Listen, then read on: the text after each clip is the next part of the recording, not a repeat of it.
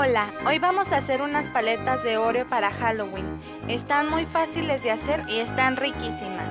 Vamos a ver la receta. Empezamos abriendo la galleta Oreo y ponemos un palito en medio de la crema y la galleta. Después llevamos a refrigeración aproximadamente 5 minutos. Una vez que salieron de refrigeración le ponemos un poquito de chocolate blanco. Esto es para que pegue y al momento de sumergirla en el chocolate de cubierta no se caiga la galleta. Para hacer la cobertura de las galletas utilice estos tres colores de chocolate. Tú puedes utilizar el que más te guste dependiendo del diseño que quieras hacer. Para fundirlo lo llevamos a baño María o en el microondas en intervalos de 10 segundos para que no se vaya a quemar. Cubrimos la paleta con el chocolate. Después quitamos el exceso de chocolate que haya quedado. Esto para evitar que la paleta se vea toda escurrida.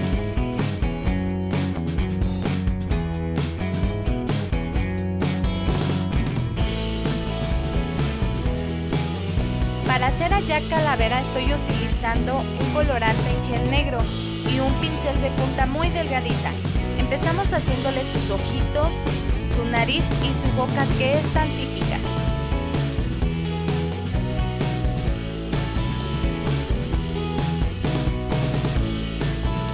Después hacemos un moñito y ya tenemos lista la paleta.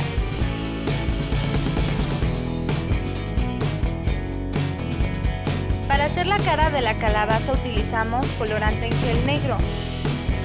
Después para hacer la ramita y el tronco utilicé un poco de fondant en color verde.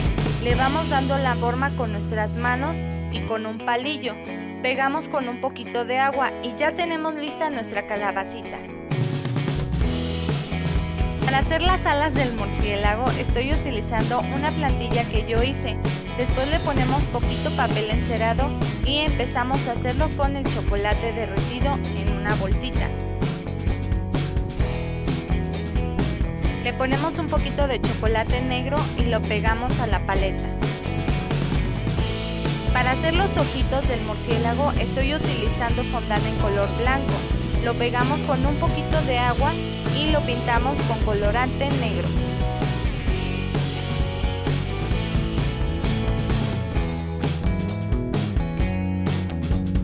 Como última opción hacemos una momia. Derretimos un poquito de chocolate blanco y lo empezamos a escurrir. Solo hay que tener un poquito de cuidado en dejar un espacio para los ojos. Este es el resultado. Ya están listas tus paletas. A los pequeños de la casa les encantará, aparte de ser una idea muy original y muy fácil de hacer. Ya sabes, si te gustó el video no olvides compartir y suscribirte. ¡Gracias!